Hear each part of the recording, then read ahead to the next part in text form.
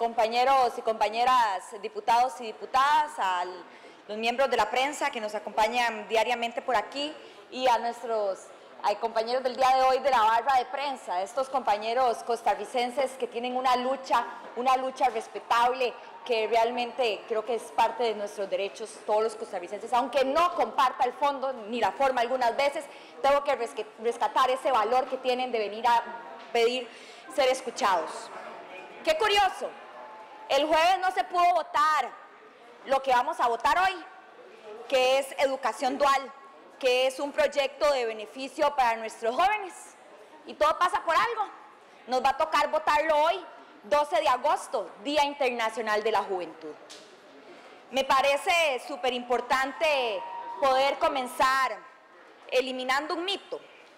Y el principal mito por el que tal vez la mayoría de los jóvenes están ahí reclamando sus derechos es porque creen que van a estar obligados a, meterse a trabajar durante su educación. Y eso no es cierto educación dual es opcional. El que quiera tomarla, la toma. El que no quiera tomarla, no la toma. Hay un tema que a mí me preocupa y debería preocuparles a todos ustedes porque son los principales perjudicados, que son los números de las tasas de desempleo. Y la situación es peor para los jóvenes. Los jóvenes entre 15 y 24 años son los principales contribuyentes a la tasa de desempleo.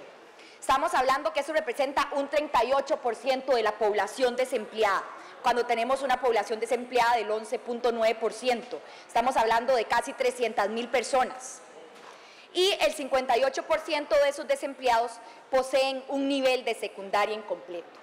Aquí estamos hoy trabajando por solucionar eso, por crear opciones reales que le ayuden a los jóvenes a salir del colegio para tener una opción de trabajo. Hay beneficios importantísimos que va a traer este proyecto de educación dual.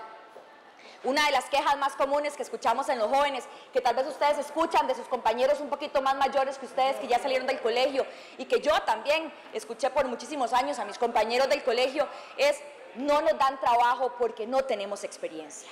Esto es una solución para aquellos que quieran, porque no están obligados, que quieran salir con algo de experiencia que les pueda aportar a sus currículums y que les dé una facilidad para conseguir empleo más fácilmente.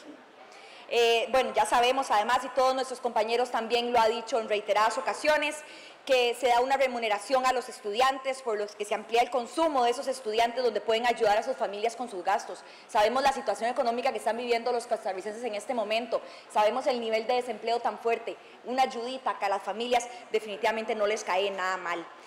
Se motiva la continuación de estudios para estos estudiantes y acceder a un nivel de educación superior, donde las posibilidades de estar desempleados son menores. Se establece en acuerdo entre las partes, entre el centro educativo, entre empleados y entre empresas, lo cual es una razón de importancia para futuros acuerdos. Las empresas rejuvenecen en procesos productivos gracias también a estos procesos. Eh, quiero eh, también eh, aprovechar esta intervención para felicitar a los compañeros que formaron parte de esa comisión de ciencia y tecnología, el diputado Warner Jiménez, quien la ha presidido, y también al diputado Oscar Cascante, quien ha sido nuestro compañero de fracción, que ha tomado también un papel de liderazgo junto con los otros compañeros que se han interesado en que este proyecto quede de la mejor manera para los estudiantes, para nuestros jóvenes y por supuesto para aumentar la productividad de nuestro país.